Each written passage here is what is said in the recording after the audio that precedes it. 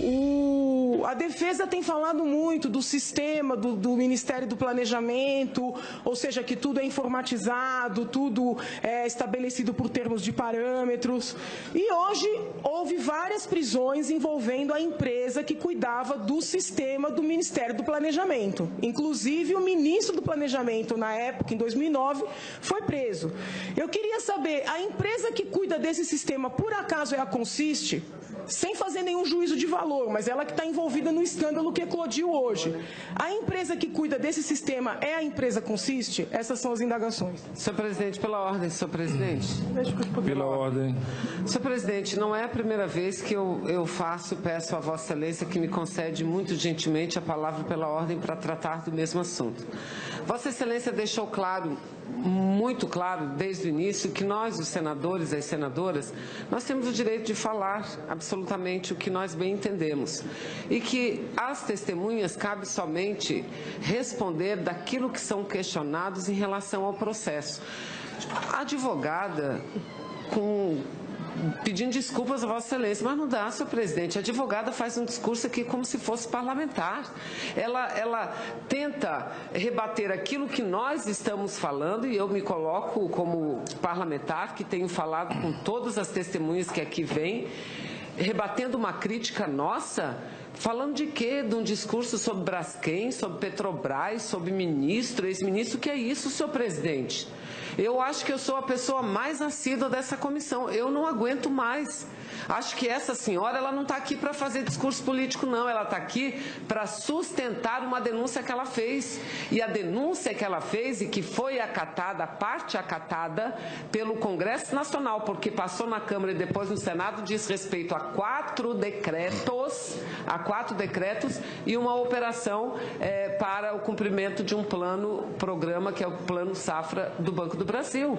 Então ela tem que falar sobre isso, depois não quer ouvir, porque talvez ela não tenha o que dizer para ficar fazendo essas críticas. Eu lamento, senhor presidente, eu quero dizer que eu repilo esse discurso político que ela vem fazendo desde o início, que seria muito mais produtivo para a comissão, para a comissão que deixasse o discurso político para os políticos e ela se referisse tão somente ao conteúdo do processo. Pela ordem, eu, eu compreendo a posição da senadora Vanessa, mas quem disso usa, disso cuida.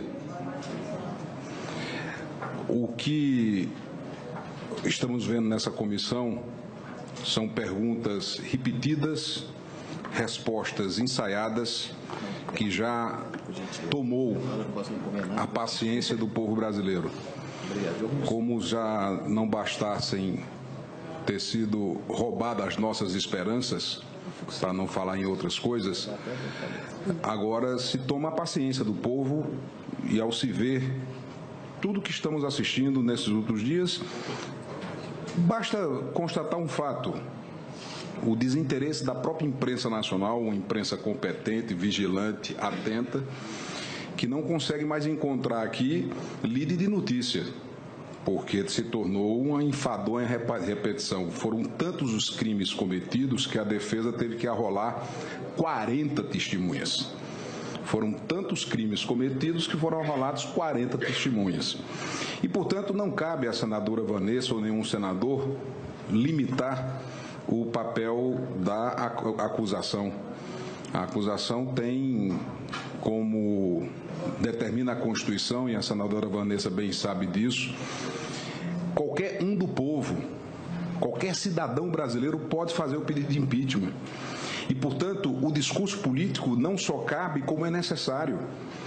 Porque estamos num ambiente político, numa casa política, onde a acusação, da mesma forma que faz a defesa, da mesma maneira que tem feito a defesa, e com todo o brilhantismo, talento, competência que todos nós reconhecemos do ministro José Eduardo Cardoso, advogado da presidente Dilma, que faz questões de ordens, faz juízo de valor, em dado momento, mesmo que involuntariamente, quis conduzir os trabalhos da, desta comissão, mesmo que não sendo de forma proposital, se portou como senador fosse, não como advogado, em outros momentos quis assumir o papel de juiz, faz parte.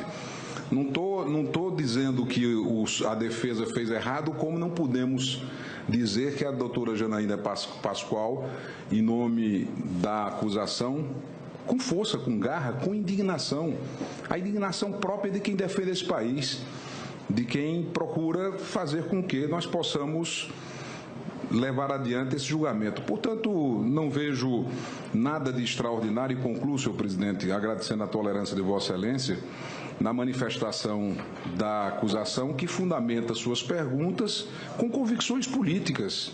Ou vamos despolitizar esse debate? Não vamos despolitizar o debate, sob hipótese nenhuma, porque é da natureza humana o exercício do debate político.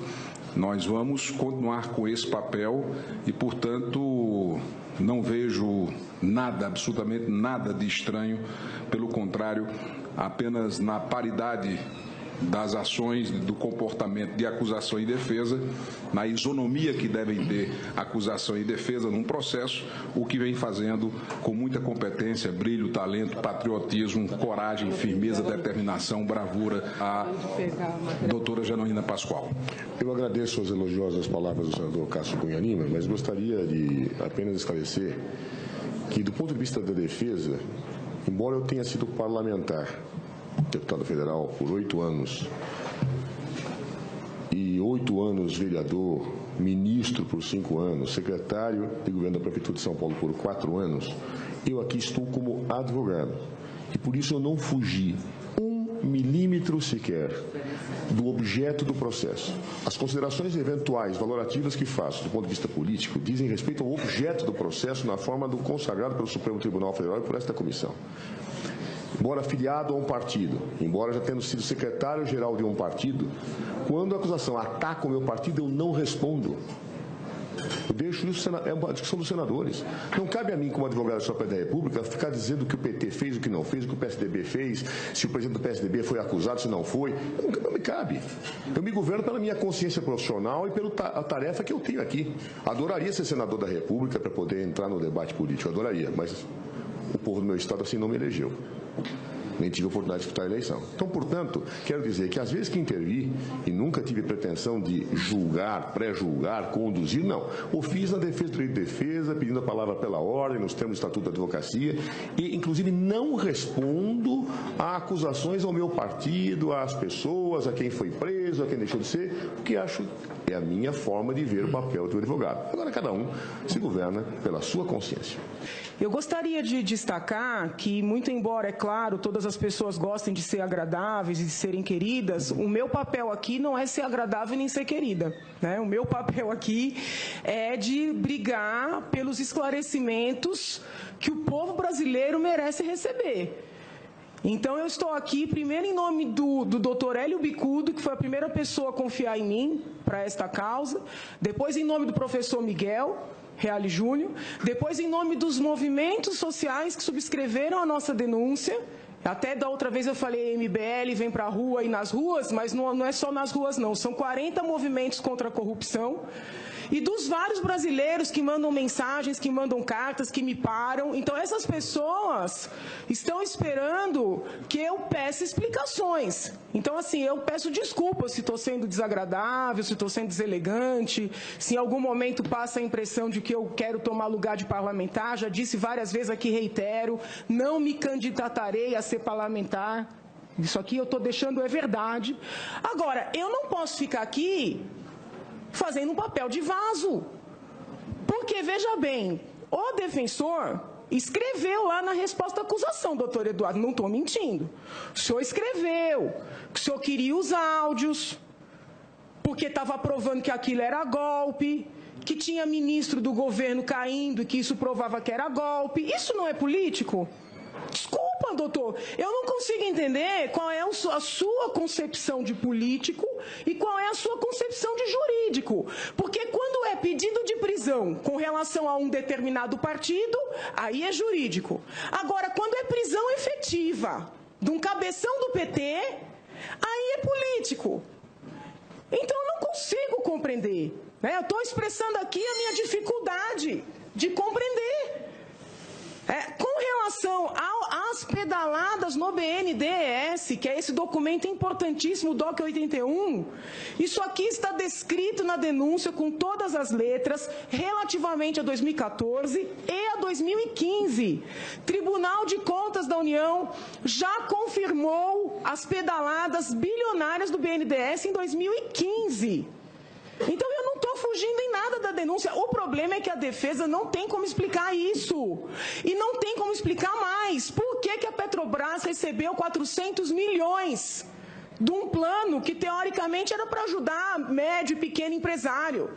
Então, desviar o dinheiro do imposto pago pelo povo brasileiro, por meio do PSI, para irrigar a Petrobras, para poder fazer a sangria do outro lado. Agora, eu tenho obrigação de dizer isso. Porque senão eu estou enganando as pessoas que confiaram em mim.